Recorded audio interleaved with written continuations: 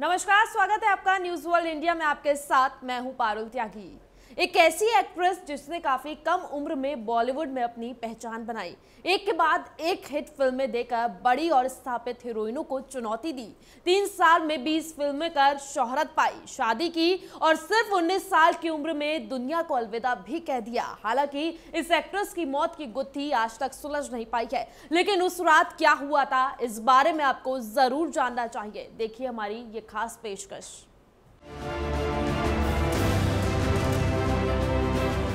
1990 के दशक में बॉलीवुड में अपनी एक्टिंग और मासूम चेहरे के दम पर दिव्या भारती ने दर्शकों को दीवाना बना दिया था।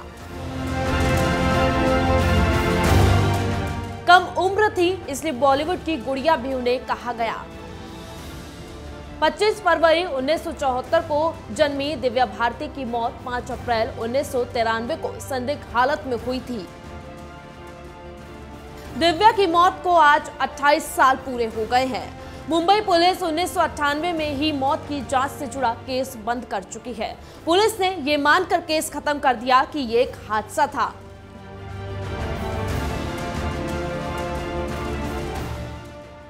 दिव्या की मौत है एक राज।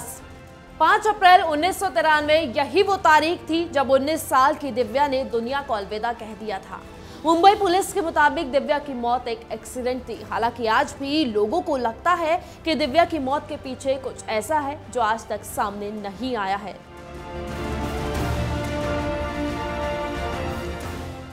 दिव्या ने अपने एक्टिंग करियर की शुरुआत 1990 में तेलुगु फ़िल्म बोबिला राजा से की थी। तमाम दक्षिण भारतीय फ़िल्मों का हिस्सा बनने के बाद दिव्या ने उन्नीस सौ बानवे में फ़िल्म विश्वात्मा से बॉलीवुड में कदम रखा। उनकी पहली ही सुपरहिट साबित हुई। दिव्या की फ़िल्म शोला और शबनम की शूटिंग चल रही थी तभी फ़िल्म की लीड एक्टर गोविंदा से मिलने के लिए प्रोड्यूसर साजिद नाडियाडवाला सेट पर पहुँचे थे। यहीं पर उनकी मुलाकात दिव्या भारती से हुई। यहीं पर दोनों के बीच दोस्ती हुई और जल्द ही ये दोस्ती प्यार में बदल गई। दिव्या के 18 साल के होते ही उन्होंने गुपचुप साजिद से शादी कर ली। दिव्या भारती शादी के बाद एक अपार्टमेंट ढूंढ रही थी। लंबे समय के बाद उन्हें अपने सपनों का घर भी मिल गया था। दिव्या ने बांद्रा के नेप्यूचन अपार्टमेंट में एक फोर बेडरूम फ्लैट की डील फाइनल कर ली। दिव्या की इस डील से काफ़ी खुश थी वो और जल्द से जल्द वो इस घर में शिफ्ट होना चाहती थी। 5 अप्रैल को ही दिव्या को मशहूर फ़ैशन डिज़ाइनर नीता लुलिला का कॉल आया और वो तुलसी अपार्टमेंट में यानी उनके फ्लैट पर आ रही थी। वो रात को करीब 10 बजे अपने पति के साथ दिव्या के घर पहुँची। तीनों लोग लिविंग रूम में बैठे थे और शराब पीते हुए बातें कर रहे थे। उसी कमरे में दिव्या की नौकरानी भी मौजूद थी। थोड़ी देर बाद दिव्या की नौकरानी किचन में चली गई, जबकि नीता और उनके पति टीवी देखने में व्यस्त हो गए। तभी वो अपनी लिविंग रूम की खिड़की की ओर बढ़ी और वहाँ जाकर बैठ गई। दिव्या ने खिड़की पर बैठे बैठे ही लिविंग रूम की और पीछे मुड़कर देखा। साथ ही वो खिड़की की चौकट पकड़ने लगी और उनका हाथ फिसल गया। पलक झपकते ही दिव्या खिड़की के नीचे जा गिरी। जब तक नीता और उनके पति और नौकरानी खिड़की तक पहुँचते, दिव्या नीचे पड़ी, तड़प रही थी।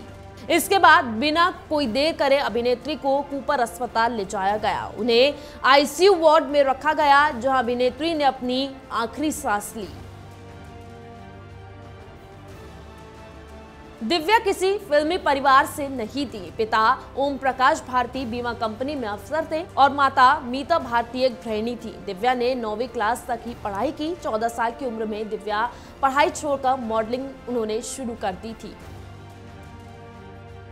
उन्नीस में दिव्या की फ़िल्मों ने उन्हें शोहरत के बड़े मुकाम पर पहुँचा दिया था। शाहरुख खान ने दिव्या के साथ ही उन्नीस सौ बानवे में दीवाना फ़िल्म से डेब्यू किया था। उस समय दिव्या महज 18 साल की ही थी। फ़िल्म ज़बरदस्त हिट हुई। बाद में फ़िल्म निर्माता साजिद नाडियाडवाले से शादी कर दिव्या ने सबको चौंका दिया था। बताया जाता है कि साजिद से शादी के बाद दिव्या अक्सर तनाव में रहती थी। इसी तनाव की वजह से उन्होंने शराब पीना भी शुरू कर दिया था। जिस रात उनकी मौत हुई, उस रात भी वो शराब के नशे में थी। Bureau report, news one India.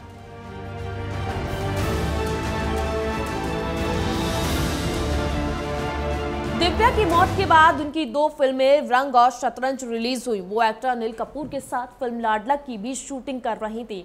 वो इस फ़िल्म की शूटिंग 80 प्रतिशत खत्म कर चुकी थी। लेकिन उनकी अचानक मौत के बाद श्रीदेवी को उनकी जगह कास्ट किया गया और पूरी फ़िल्म फिर से शूट की गई। फ़िलहाल के लिए इतना ही, लेकिन आपको हमारी ये वीडियो कैसी लगी, कमेंट करके ज़रूर बताइए।